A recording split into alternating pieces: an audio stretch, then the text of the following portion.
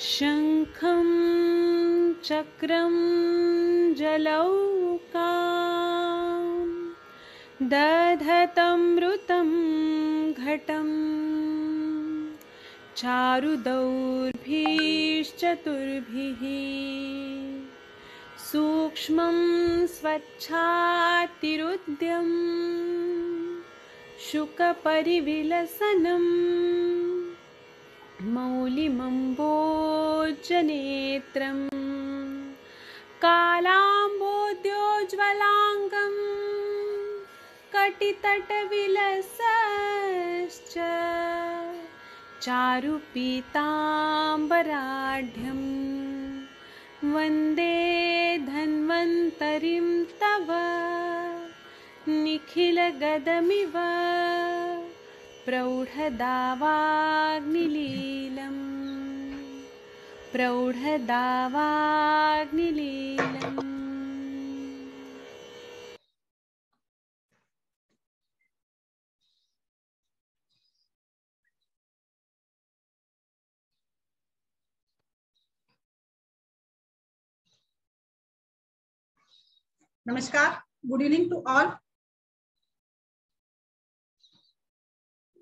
नमस्कार। Good evening to all आज के इस सत्र में आप सभी का बहुत बहुत स्वागत है। आज के इस त्रिरोग संभाषा में हम लोग आज एक खास और अगले या कुछ अलग विषय पर हम चर्चा करेंगे। नाभि पूरण जो कि आयुर्वेद में जैसे पंचकर्म का एक दौर चलता है, पंचकर्म का जिस प्रकार से प्रयोग किया जाता है, वैसे ही जो एक थेरापेटिक्स है, या स्थानिक चिकित्सा के रूप में गायनिक के जो प्रोसीजर्स किए जाते हैं, उसको भी हम लोग चर्चा करेंगे। आप भी इस हमारी संभाषा से, स्त्री रोग परिचर्चा से जुड़ सकते हैं, और आप भी अपना अनुभव आपके केसेस यहाँ पर शेयर कर सकते हैं। इस परिचर्चा से जुड़ने के लिए nine four one zero three seven nine three nine seven पर आप संपर्क कर सकते हैं। तो आप सभी का बहुत बहुत स्वागत है इस सत्र में। डॉक्टर बलजोत, नमस्कार मैम। स्वागत है आपका। सो डॉक्टर अंजू नमस्कार तो मैम नमस्कार कैसे है? मैम मैं ठीक हूँ। आप कैसे हैं? हाँ बस थोड़ा सा आज ये नाभि पूरन पर चर्चा करेंगे सोचकर एक सत्र रखा था। अच्छा हुआ आप आ गए। आपके भी कुछ अनुभव हो तो शेयर कीजिएगा। देखते हैं हमारे डॉक्टर्स के भी कुछ केसेस भी होंगे तो वो केसेस भी हम लोग डिस्कस करेंगे। तो आप सभी का स्वागत करते हुए हाँ यस तो नाभि पूरण, हालाँकि आयुर्वेद के संहिताओं में, ग्रंथों में, नाभि बस्ती के रूप से भावप्रकाश के मध्यम खंड में अतिसार चिकित्सा में इसका संदर्भ भी आया है।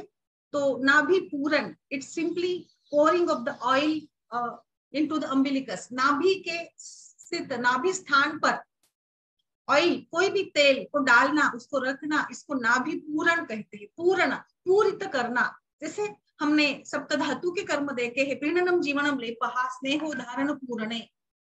तो मज्जा का पूर्ण कार्य है। इसी प्रकार से नाभि का जो एक, ये होता है ना, नाभि में जो हॉलोनेस होता है, वहाँ पे जो कैविटी है, नाभि अम्बिलिकस के रीजन की, उस रीजन को पूरित करना, वहाँ पे कुछ तेल, घी लगाना, डालना, इसको नाभि पूरण कहा है। तो नाभि पूरण ये एक नया कंसेप्ट है, जो आज बहुत ही प्रचलित है। और हम लोग स्त्री रोगों की बात करेंगे तो स्त्री रोगों में काफ़ी प्रकार से इसका फ़ायदा होता है। तो सबसे पहले यहाँ पर नाभि पूरण ये प्रक्रिया को समझने से पहले हम लोग थोड़ा नाभि के बारे में जान लेते हैं। मुझे पता है कि आप सभी को नाभि के बारे में विस्तृत रूप से पता है। नाभि ये बहुत ही एक चमत्कारिक या बहुत ही एक महत्वपूर्ण अवयव है। नाभि को बहुत ही हम लोग दुर्लक्षित करते हैं। जितना इंपॉर्टेंट हमारा मस्तिष्क है, उतना ही ज़्यादा इंपॉर्टेंट जितना इंपॉर्टेंस हृदय को दिया जाता है, उतना ही इंपॉर्टेंस हमें नाभि को देना चाहिए। नाभि के बारे में बहुत सारे सूत्र है। नाभिस्त प्राण प्रवण स्पुष्टवार कमलांतरम कंठात बहिर्निर्याति पातु विष्णु पदार्थम। जब शारंगधर आचार्य ने शब्द निर्माण की वर्णन, शब्द निर्माण का वर्णन किया तो वहाँ पर उन्होंने, जैसे आयुर्वेद ने शब्द निर्माण परापश्चति मध्यमा विकृति वैखरी इस प्रकार से किया है। पाणिनी सूत्र में अलग प्रकार से शब्द उत्पत्ति के बारे में बताया है। वैसे ही शारंगधर आचार्य ने भी इस प्रकार से जो एक श्वसन की प्रक्रिया बताई है, इसमें उन्होंने नाभिस्थ प्राण पवन कहा है। नाभि के स्थित प्राण पवन तो प्राण वायु श्वसन में इंपॉर्टेंट है बट फ़िलहाल जैसे श्वास प्रक्रिया को कंप्लीट करने के लिए प्राण और उदान दोनों वायु की गति होती है तो वहाँ पर क्षारेंद्र आचार्य की विशेषता यह है कि उनका मानना है कि श्वास या गति के लिए पहली जो एक हलचल, पहली जो मूवमेंट होती है, ये नाभि में होती है। नाभिस्त प्राण पवन तो नाभि में स्थित इस वायु को उन्होंने प्राण बताया, क्योंकि नाभि ये भी तो प्राण का स्थान है, नाभि ये भी तो ऊर्जा का स्थान बताया है।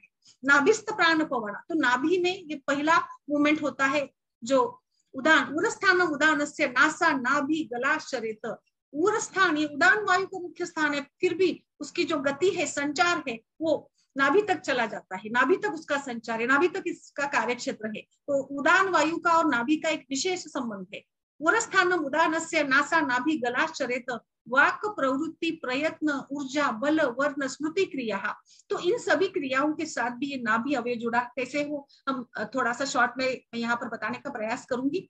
तो यहाँ पर नाभि में स्थित पहला जो मूवमेंट है, आगे चला जाता है, हृदय कमल को स्पर्श कर ये वायु नीचे आता है मतलब मुख से ऊपर चला जाता है और हृदय कमल को स्पर्श कर शरीर के बाहर आकर, मुख से बाहर आकर वो विष्णु पदापत जाता है, यानी विष्णु तक मतलब पूरा ऊपर चला जाता है, जहाँ पे शुद्ध हवा होती है समृद्ध का प्राशन करके फिर से शरीर में पुनः एक बार आ जाता है। इस प्रकार की कल्पना की। इसके पीछे ये है कि महत्ता उन्होंने दी है, उदान वायु को दी है। पूरा स्थान में रहता है वायु, बट आप थोड़ा सा अनुभव कीजिए। जैसे हम लोग नॉर्मली बोलते हैं, शब्द या वाणी का निर्माण, वाणी का कार्य, शब्द ये प्रक्रिया उदान वायु के निर्माण इस पे डिपेंड करती है। उदान वायु ही इसके लिए रिस्पॉन्सिबल होता है। अगर हम शब्द निर्माण की प्रक्रिया को समझेंगे तो जैसे हम नॉर्मली बोलते हैं कभी कभी हम आ, मतलब एकदम स्लो मोशन में एकदम से मंद स्वर में बोलते हैं। कभी कभी थोड़ा ज़ोर से बोलते हैं। बट ऐसे चिल्लाते हैं। जैसे मानो हम लोग कहीं जा रहे प्रवास कर रहे बस में हम लोग चढ़ रहे हम सभी परिवार के लोग बस में चढ़ गए बस हमारा छोटा सा बच्चा नीचे रह गया है जो मतलब और बस छूटने को लगी है। तो हम क्या करेंगे? एकदम ज़ोर से, चिंटू जो भी नाम है उससे, एकदम ज़ोर से, जब हम इस प्रकार से ज़ोर से चिल्लाने का आवाज़ निकालते तो सोचिए क्या होता है?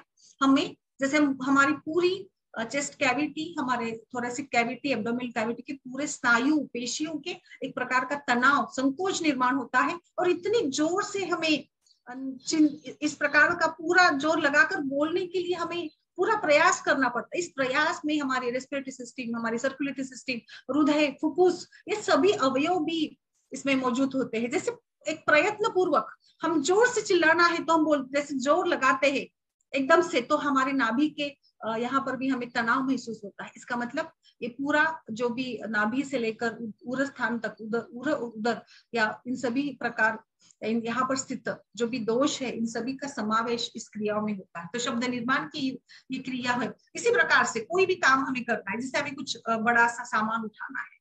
उठ हमसे उठता नहीं हम तो क्या करेंगे? उसको उठाने के लिए, पूरी आवेश में लाइक हम लोग, हमारी मुँह ऐसे पूरा मतलब एक प्रकार से हम ऐसा ये करेंगे ना कि हमारी पूरी ताकत उसमें लगा तो ताकत लगाने के लिए क्या करना होता है? हमारी चेहरे की स्थिति स्नायुओं को हम लोग इकट्ठा कर देते हैं। पूरे इसके साथ हम जो भी टेबल है, जो उसको पूरा ऐसे उठाते जब हम उठाते हैं, प्रयत्न, ऊर्जा, ये सब हमें उसमें लग जाती है। एक सिंपल और एक उदाहरण देती हूँ मैं। जैसे कुछ बर्थडे वगैरह होता है घर में तो फुगे लाए जाते हैं। क्या बोलते हैं आप इसको हिंदी में? बलून। तो आ, तो इस इसको फुगाने के लिए जब हम फुगाते हैं तो कोई बोलता है कि नहीं नहीं मुझसे फुगाया नहीं जाता फू, फूला नहीं जाता ये फुगा मैं फुगा नहीं सकता फुला नहीं सकता। मुझे इतनी ताकत नहीं। कोई कोई होता है कि बराबर बराबर, एकदम बड़े बड़े लंबे लंबे ये बलून्स वो भरता है, हवा भरता है। तो ये हवा भरने की प्रक्रिया से भी हमारा उदान वायु वाइटल कैपेसिटी जितनी लंग की कैपेसिटी अच्छी अच्छी होगी, जिस व्यक्ति की, उतना वो फुगा अच्छे से फुला पाएगा। ये मैं क्यों बता रही हूँ? तो ये all this actions are related with उदान वायु और नाभि स्थान से जुड़ी है इसमें भी हमारे नाभि तो नाभि प्राण पवर बिल्कुल नाभि प्राण का स्थान है। हमेशा से हमें ज़्यादा महत्व दिया है हृदय और मस्तिष्क को। बट थोड़ा और मैं आगे चलती हूँ। गर्भावस्था की बात करेंगे जैसे कि बलजोत मैडम भी है जो की गायनिक की है तो गर्भावस्था में बच्चा किस प्रकार से नाभिनाल से जुड़ा होता है माँ से? और गर्भ या प्रसूति के पश्चात जब नाभिनाल को काट दिया जाता है तो एकदम से शरीर गर्भ गर्भिणी के आ, मतलब माँ के शरीर से एकदम अलग हो जाता है। और तब जाकर पहला रेस्पिरेशन जो होता है, वो शिशु का बर्थ के बाद होता है। जब गर्भावस्था में गर्भ होता है तो जो भी सारी गतिविधियाँ है, इस नाभि नाल से ही तो होती है। बिल्कुल तो इतना बड़ा कनेक्शन इस नाभि से बच्चे का और माँ का जुड़ा है। नाभि को अलग अलग आचार्यों ने अलग अलग शास्त्रों में अलग अलग प्रकार से महत्व दिया है। जैसे कुछ सामुद्रिक शास्त्रों में भी नाभि की स्थिति को देखकर। और फिर हाँ जो जब काटते हैं हम लोग तो काटने के बाद जो वहाँ पे एक छोटा सा गोल बन जाता है। कभी कभी जैसे बच्चों में सूजन आ जाती है या फिर वहाँ पे बड़ा सा गर्ता जो होता है ना वो बड़ा होता है। कभी कभी इसमें भी हर्नी या अम्बिलिकल टाइप में या हवा भर जाना या सूजन आ जाना तो अलग अलग सिचुएशन होते हैं। तो किसी किसी की नाभि वैसे ही बड़ी रह जाती है बट जैसे जैसे बच्चे की एज बढ़ती है ना वैसे वैसे वहाँ पे जो एक खोल या डीपनेस होती है, गर्त होता है ना, वो गर्त ज़्यादा से ज़्यादा मतलब नीचे जा जाने लगता है। तो इस प्रकार से नाभि ये बहुत ही एक अलग विषय है। इस अलग विषय पर हम लोग बात कर रहे हैं। थोड़ा सा और एक बात बताऊँगी मैं इसमें नाभि को लेकर। नाभि यह सिरा का मूल स्थान भी बताया है। सारे जो हमारे शरीर की सिराए हैं, उसका एक मूल स्थान ये नाभि बताया है। जब हम कोई भी सर्जरी करते हैं तो इंसिजन लेते हैं तो वहाँ पर हम लोग सिराओं को छोड़कर करना होता है। नाभि के